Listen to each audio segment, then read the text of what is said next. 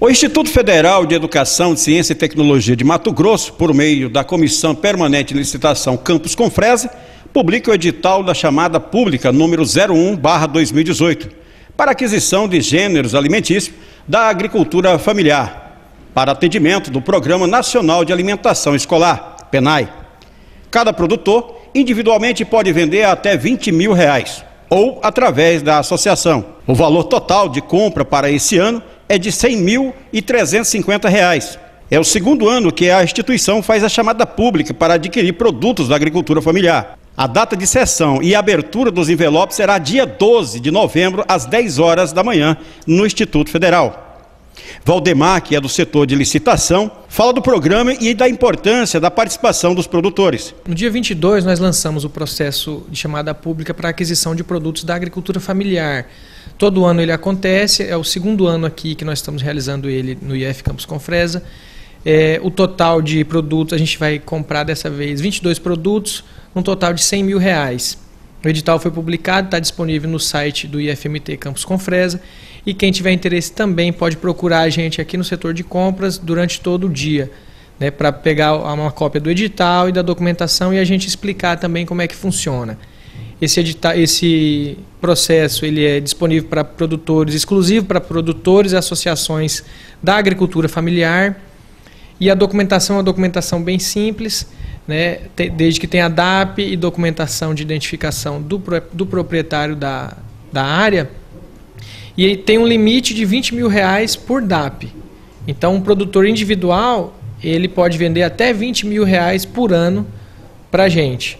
E uma associação, ela, ela, pode vender mais, ela, ela vende 20 mil reais por DAP. Então, uma associação que tem 10 produtores que possuem a DAP, ela pode vender até 200 mil.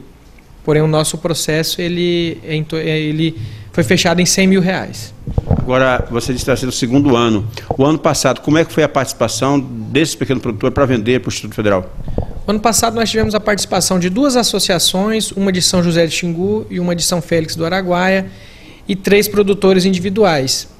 A gente conseguiu comprar bastante coisa também e todos cons e conseguimos atender a, a, demanda do, do PENAI do ano passado. O objetivo desse programa é fazer com que fortalecer a agricultura familiar na região. Também, né, o PENAI ele foi criado para auxiliar a alimentação escolar do ensino básico ao ensino médio e fortalecer a agricultura familiar local. É, lembrando que os grupos é, têm uma priorização, os grupos locais eles têm prioridade em relação a grupos de outros estados, associações e produtores de outras regiões.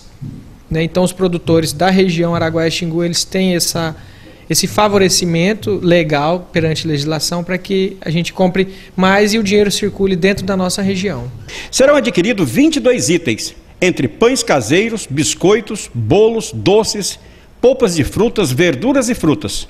A nutricionista da instituição, que prepara os cardápios dos alunos do ensino médio todos os dias, explica que tem que ter na embalagem data de fabricação e prazo de validade e que eles prezam pela qualidade dos produtos. Aqui nós fazemos o seguinte, eu como nutricionista eu faço o cardápio esse cardápio ele é semanal. Então, todos os produtos que estão listados para a gente adquirir pelo PENAI, ele é, nós, de acordo com as refeições, que são quatro refeições diárias, a gente vai administrando de acordo com os dias. Então, por exemplo, nós temos o café da manhã, o almoço, o lanche da tarde e o jantar. Então, a gente adquire esses produtos em torno de uma ou duas vezes na semana para suprir essa necessidade. E é, lembrando que, no caso aqui do IFMT, é, são alunos de nível médio. Então, de acordo com o número de alunos e com o consumo semanal, a gente é, vê a quantidade necessária para estar tá sendo adquirida durante a semana. Caso é, tenha algum produto que vem com, vamos dizer assim, que não é aceito, é devolvido e pode é, ser entregue novamente? Sim, é, a questão da qualidade é muito importante, porque a legislação ela, ela, ela fala, né, ela, ela cita a questão da qualidade higiênico-sanitária que esse produto deve chegar até a gente. Então, é, produtos in natura, como frutas, que vêm em recipiente, mas não vem embalado, eles, eles têm que vir de acordo é, sabor, odor e, e tem que estar de acordo com a legislação.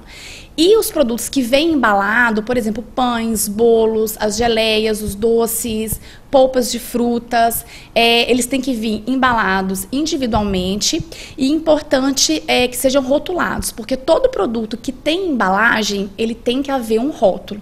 E o que, que tem que ter nesse rótulo? Tem que haver a data de fabricação, a data de validade, a quantidade é, do produto naquela embalagem e também a lista de ingredientes. É, essas são informações básicas que tem que ter em toda é, rotulagem de embalagem. Tá? Então é importante que a qualidade ela, ela seja cumprida. Então, por exemplo, se eu tenho uma ou duas vezes durante a semana a entrega dos produtos, quando ele chega a gente inspeciona. Então a gente é, vê esses produtos que têm embalagem, se está de acordo, se está com o rótulo.